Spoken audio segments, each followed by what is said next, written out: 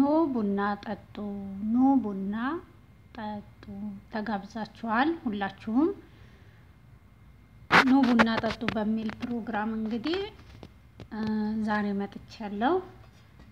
በዚህ ፕሮግራም የመጣሁበት ምክንያት አንዳንድ ጥያቄዎቻችሁን ለመመለስ ነው። ያው እንግዲህ እንደምታዩት ለቡና ቁርስ ይሄ ያለን የኩስኩሴ በአይቤ የተሰራ ከዚህ በፊት link ኡ ላይ አስቀምጫለሁ። ከዚህ በፊት ሰርቼዋለሁ። በእኔ ቻናል ላይ ገብታችሁ ማየት ትችላላችሁ። ይሄኛው ደግሞ ሁለት አይነት አይቤ ነው።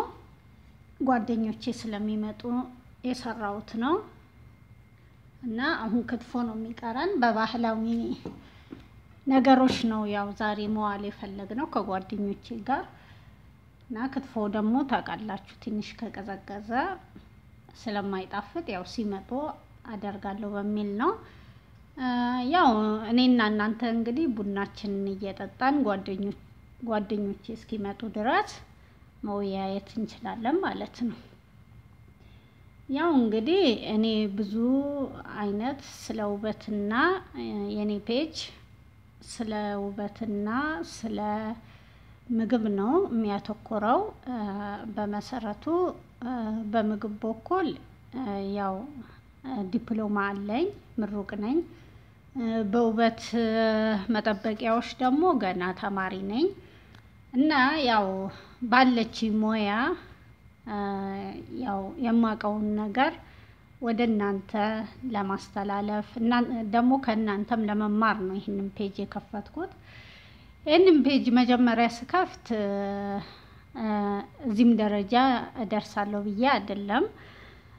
ጓደኞቼ አሉ አረብ ሀገር ያሉ እነሱ በረመዳን በረመዳን ምግብ መስራት ፈልገው ነበረ። ግን ፍላጎቱ ይኑሯቸው እንጂ ሙያው የላቸውም። ሙያው ያው ትንንሽ ነገር እርግጥ ይሰራሉ ያው መክተፍ ምናምን ይችሉ ነበረ። እና እንዴት ነው ረመዳን ያው ደሞዙም ከፍ ያለ ስለሆነ ያው መስራት ይፈልጋሉ ፍላጎታቸውን ስለማውቅ እኔ አበረታታኋቸው በረመዳን ያው እኔ እረዳችኋለሁ ያው ቴሌፎን በእጃችሁ ስላለ እረዳችኋለሁ ግቡ አልኳቸው። እውነትም ልጆቹ ጎበዞች ናቸው እንደሚባሉት አድርገው ሰሩ። ረመዳንን በጥሩ ሁኔታ ነው የጨረሱት። እና እነሱ ያንን ነገር ሲያደርጉ በረመዳን እኔ ደግሞ ከሌሎች ስራ ተጨማሪ ስለነበረ በጣም busy አድርጎኝ ነበረ። እና ከዛ አሰብኩኝ ለምን ቻናል ከፍቼ እንደዚህ ለሚፈልጉ ልጆች መጠቀም ለሚፈልጉ ልጆች ለምን አላስተላልፍም የሚለውን ነገር ማሰብ እያሰብኩ እያለ ከጓደኞቼ ደግሞ አስተያየት መጣልኝ። እነሱ ደግሞ በቃ እንግዲህ አንድ ወር ሙሉ አሰቃይተንሻል። አሁን ደግሞ ይሄን page ብትከፍቺ እኮ እኛ በቀላል ዘዴ ከፍተን ማየት እንችላለን የሚል አስተያየት ሰጡኝ። እኔም ደግሞ ውስጤ ሀሳቡ ስለነበረ የተቀበልኩት ያው ለእነሱ ብዬ የጀመርኩት ከዛ ደግሞ እስኪ ስለ ውበትም ለምን እኛ ሴቶች ውበታችን መጠበቅ እንወዳለን? ለምን ስለዛስ አልሰራም? የሚለውን ነገር አሰብኩና ያው ሁለቱንም በአንድ ላይ በአንድ page ለመጀመር አሰብኩ ማለት ነው። እና ያው ስለ ምግብ ያው መጀመሪያ ፍላጎቱ መኖር ያስፈልጋል። የመስራት ፍላጎቱ ወይንም hobby ያስፈልጋል ከውስጥ የመነጨ ፍላጎት ከሌለ ምግብ ድስት ውስጥ ስለጨመሩ ብቻ ምግብ ሆኖ መውጣት አይችልም። መጀመሪያ ፍላጎቱና ለዛ ነገር ለመስራት መነሳሳት ያስፈልጋል። እንትን ደግሞ በውበት ዙሪያ ደግሞ ከመጣው ያው እንደምታውቁት ፀጉርም ሆነ ገላም ሆነ ፊትም ሆነ እጅም ሆነ እግርም ሆነ አንድ አይነት ነገር አይፈልግም። ሆዳችን የተመጣጠነ ምግብ እንደሚፈልግ ሁሉ ቆዳችንም የተለያየ ነገር ይፈልጋል። ስለዚህ ለዚህ ነው እኛ ብዙ አይነት ይሄ ይሄኛው ከዚህኛው ጋር ቢሆን ጥሩ ነው እያለን የምናሳየው ግን ሁሉም ያልነው ነገር ለዛ ቆዳ ይስማማል ማለት አይደለም። የሚስማማ አለ፣ ማይስማማ አለ። መጀመሪያ ግን ያ ሰው ለመሞከር ሲያስብ በእጁ ላይ ወይም በፀጉሩም ከፈለገ በትንሽዬ ቦታ ላይ ሞክሮ ነው ከዛ ምንም አይነት ችግር ከሌለው ያው የሚሞክረው። እርግጥ እኔ ኬሚካል ያሉ ነገሮችን አልጠቀምም፣ አልወድምም። በምግብም ሆነ በውበት ዙሪያ ኬሚካል ያሉ ነገሮች ብዙ ጊዜ አይመቹኝም። ለምን ሲባል እንዴት ነው natural የሆነ ነገር ጥሩ ነው። እንዴት ነው ውጤትም ባይኖረውም ለክፉ ነገር ማያደርሰው። ስለዚህ ያው ዛሬ የማስተላልፈው natural በሆነ ነገር እንዋብ እላለሁ። ምግብም ቢሆን ወደ ውስጥ የምናስገባቸው ምግቦች ብንመርጥ ጥሩ ነው።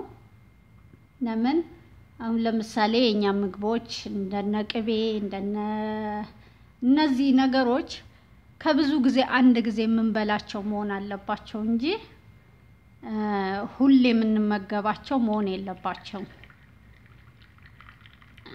እንዴት ነው ብዙ ለሰውነታችን ጠቃሚ የሆኑ ምግቦች ስላሉ እነሱን ብንጠቀም ጥሩ ነው። እኔ አሁን ምግብ ሰሪም ብሆንም ያኔ ማለት የሰራሁት ሁላ ምግቦች ጥሩ ናቸው ማለት አልችልም። ያ እንዲህ ይሰራል ብዬ አሳያለሁ እንጂ ለምሳሌ አሁን በእኔ ቻናል ላይ የምለቃቸው ለጤና ተስማሚ ወይ ለዳይት ብዬ የምለቃቸው ምግቦች ለጤና ጥሩ ጠቃሚ የሆኑ ምግቦች ናቸው። በተረፈ ግን ዝም ብዬ የምለቃቸው ምግቦች ያው እንዲህ መስራት ይቻላል ሙያውን ለመልመድ እንጂ ለሰውነት ገንቢ ናቸው ብዬ አይደለም። አሁን ለምሳሌ ይሄንን ኩስኩሴ እኔ በጣም እወደዋለሁ የሚመች ነው። ግን አይቤውም ለሰውነት የሚጎዳ ነገር የለውም። ግን ያው ቅቤው ብዙ ስለሆነ ያው ኮሌስትሮል ስላለው በተለይ እኔ ራሴን መጠበቅ ስለጀመርኩኝ ጥሩ አይደለም። ግን አንዳንዴ ከጓደኞቼ ጋር ለመደሰት ደስ ይላል። በተለይ ደግሞ የባህላችን ምግቦች ደስ ይሉናል። ስለዚህ ያው እንግዲህ እንበላለን። ከስንት ጊዜ አንድ ጊዜ ብንጠቀማቸው ብዙም ችግር የሚያመጡ አይመስለኝም። እና ብዙ ጊዜ አትክልቶችና ፍራፍሬዎች ብንጠቀም ጥሩ ነው። ለጤናችን ነው ሳናውቀው ከስር ከስር ያው ውስጣችን ከተጎዳ በኋላ በመድሃኒትም ሆነ በዶክተር ሊመለስ አይችልም። እና የምግብ አወሳሰዳችን ስለ ጤናችን ያመለክታል ማለት ነው። ስለዚህ ያው የዛሬ ፕሮግራማችን እንግዲህ የመጀመሪያው ቡና ኑ ቡና ጠጡ የሚለው ነው። ያው ትንሽ የተሰጡኝን ጥያቄዎች እስካሁን ብዙ ሰዎች የሚጠይቁት ጥያቄዎችን እንደመለስኩኝ እርግጠኛ ነኝ። ወደፊት ደግሞ comment ኣችሁንና አስተያየታችሁን እጠብቃለሁ። ያው like comment share አድርጉልኝ share አድርጋችሁ የደውል ምልክቷን ተጫኑ። በውበትና በውበት መጠበቂያዎችና በምግብ ጉዳይ እርግጠኛ ሆናችሁ መጠየቅ ትችላላችሁ። እና ሰላም ሁኑልኝ ውዶቼ፣ ውድ ውድ የተወደዳችሁ ጓደኞቼ ብዬ እላችኋለሁ። ሰላም ሁኑልኝ።